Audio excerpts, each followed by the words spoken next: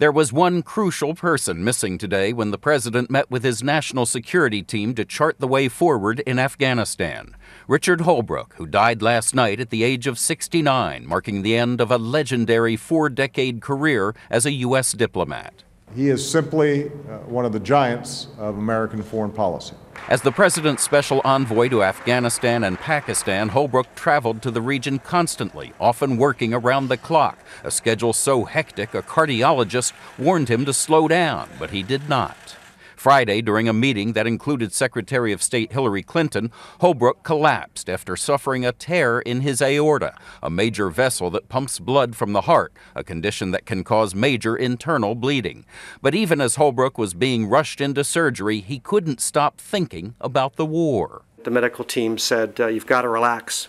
And Richard said, I can't relax. I've, I've got, I'm worried about uh, Afghanistan and Pakistan. The team of surgeons, led by a Pakistani, then joked that if Holbrooke would relax, they'd deal with Afghanistan. Holbrooke joked that if so, they need to make sure they end the war.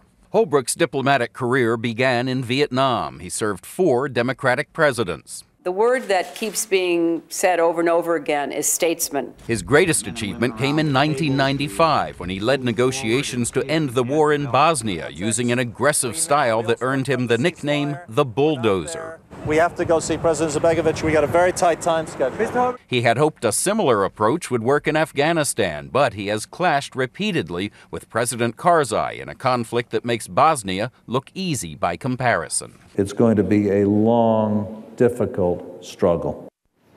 For now, Holbrooke's deputy will step into the job, but the White House admits it leaves a void in the president's Afghanistan strategy because finding someone with the stature and toughness of Richard Holbrooke could well be impossible. Katie? Chip Reid at the White House. Chip, thank you.